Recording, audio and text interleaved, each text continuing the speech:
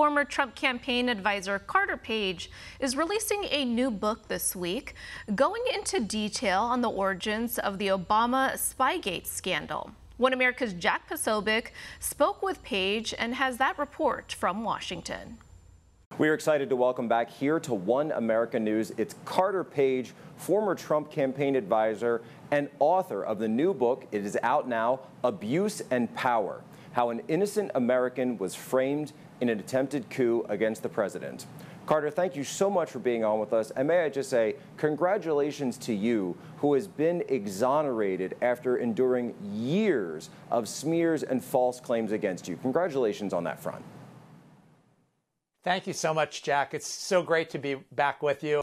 Tell me a little bit, and it's about the book, and it's pretty amazing that here your book comes out this week, and just last week we see the guilty uh, plea, essentially, from Kevin Clinesmith, who authored an email, altered an email against you, specifically to frame you. Well, Jack, I, I really see this as the fir- first step in a long process you know, we've all, we've been waiting, and again, particularly for, for you and your colleagues who have been covering this story in terms of uncovering the truth for the last several years.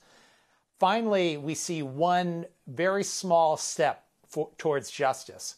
But I, I view that as, you know, a symbol that there's so much more to come. Now, do you believe that those other members of the team, because it's not just Clinesmith who gets this memo, that those other members of the team, in fact, received the memo, knew from the start about what your status was vis-a-vis the U.S. government, and then also didn't share that information, or at least didn't highlight that information in attempt to smear you, and also using this the Steele dossier and, and all the other evidence? Well, I just know from my own firsthand perspective and my own firsthand experiences, and I talk about this in great detail in my book. Throughout March of 2017, just a couple of months after President Trump took office, I was interrogated over a course of five long meetings with the FBI, counterintelligence agents in the FBI, really asking me every question imaginable and I was very forthcoming with them. So, and we talked about this very, very openly. And again, I, having worked and served uh, the U.S. intelligence community for many decades, I felt comfortable that they were actually going to do the right thing.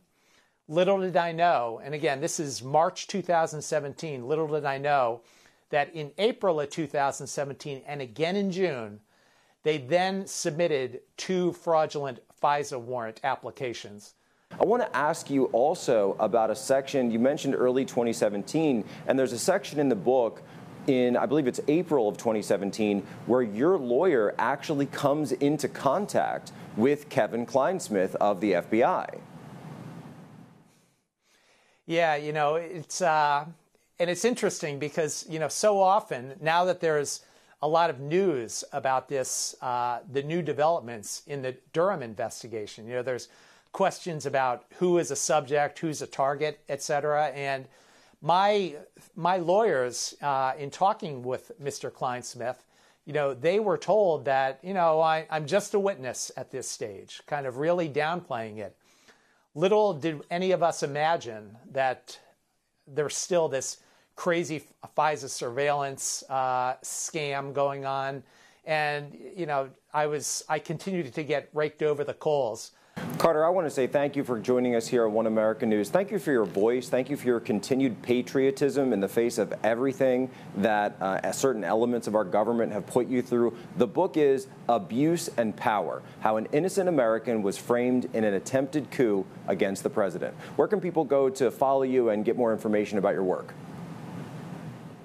I'm at Carter W. Page on Twitter, but also you can go to carterpagebook.com, which has all the details uh, related to this and, and where you can order it as well. But I also want to thank you, Jack, and your, the whole team at OAN for really being on the front lines of getting to the bottom of this story throughout these very dark years in our country's history. So, bravo. Want to see more videos like this? Click on the link below and subscribe to One America News on YouTube. And call your cable provider and kindly demand that One America News is added to your lineup. Call and subscribe today.